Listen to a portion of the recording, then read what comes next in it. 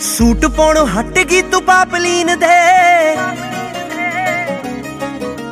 ਗੋਡੇ ਜੇ ਕਸਾਈ ਫਿਰੇ ਬਿੱਲੋ ਜੀਨ ਦੇ। ਸੂਟ ਪਾਉਣੋਂ ਹਟ ਗਈ ਤੂੰ ਪਾਪਲੀਨ ਦੇ। ਗੋਡੇ ਜੇ ਕਸਾਈ ਫਿਰੇ ਬਿੱਲੋ ਜੀਨ ਦੇ। ਕਿਵੇਂ ਕੱਚ ਮੋਤੀ ਤੇਰਾ ਸੁੱਚਾ ਹੋ ਗਿਆ। ਨੀ ਇੱਥੇ ਜੱਟ ਦਾ ਪਜਾਮਾ ਕੁੜੇ ਉੱਚਾ ਹੋ ਗਿਆ।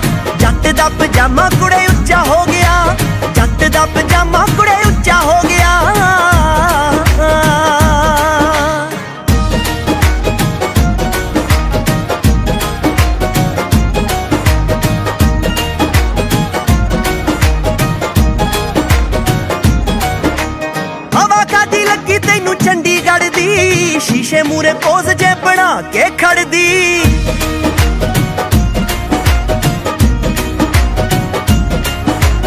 ਹਵਾ ਕਾਦੀ ਲੱਗੀ ਤੈਨੂੰ ਚੰਡੀਗੜ੍ਹ ਦੀ ਸ਼ੀਸ਼ੇ ਮੂਰੇ ਪੋਜ਼ ਜੇ ਬਣਾ ਕੇ ਖੜਦੀ। ਕਿਵੇਂ ਰੁੱਤਬਾਰ ਕਾਨੇ ਤੇਰਾ ਉੱਚਾ ਹੋ ਗਿਆ?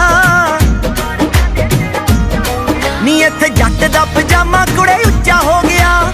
ਜੱਟ ਦਾ ਪਜਾਮਾ ਕੁੜੇ ਉੱਚਾ ਹੋ